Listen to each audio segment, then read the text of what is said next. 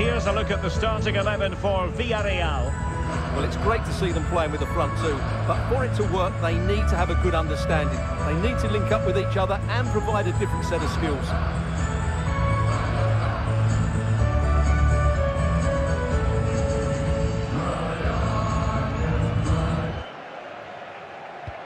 Can he find someone at the far post? And a goal! Now they have their opener, and now they can celebrate.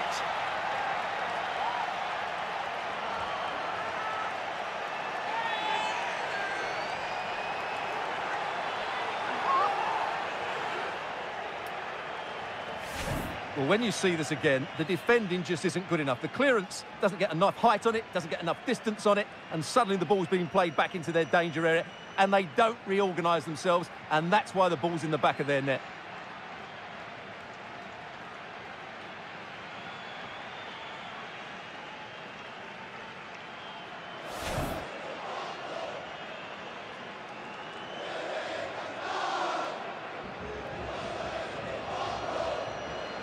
Yeremy. And that puts them in position. He's gone and found the net! Brilliant piece of finishing! Magnificent goal!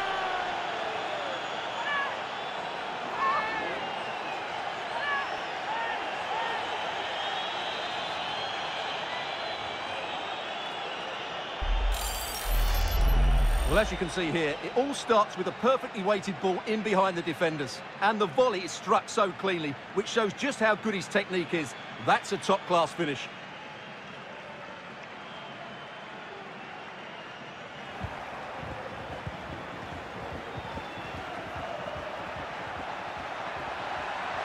It has to be!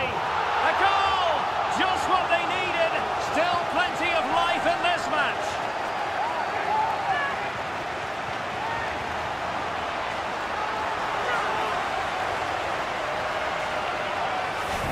Well, I won't get tired of watching this. It's an outstanding bit of play. Just look how far he runs with the ball. That's a great goal.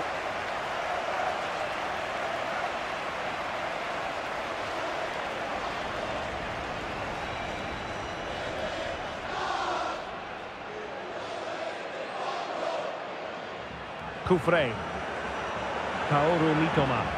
On the ball in an attacking position, but they've got to do something positive quickly. Well, the post got in the way. And that's it, the final whistle, and the hosts will go through. Well, they had to work hard for it today. Very little to split between the teams over the 90 minutes. And they had to be quite resilient at times. They've come through that now and will certainly fancy their chances in the next round.